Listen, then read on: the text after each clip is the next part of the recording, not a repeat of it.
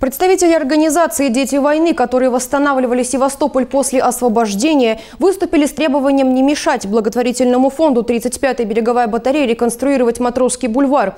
Анатолий Винайлев прожил в Севастополе больше 60 лет. Признается, для него этот город стал родным. Он уверен, реконструкцию первого бульвара города можно доверить только зарекомендовавшей себя организации. Не так, как тот же Парк Победы, где это все развалили, разломали. Одна фирма строила, вторая фирма строила. И в конце концов неизвестно, теперь ищут третью фирму и ищут новые деньги, чтобы продолжать то ли разваливать, то ли строить. Непонятно.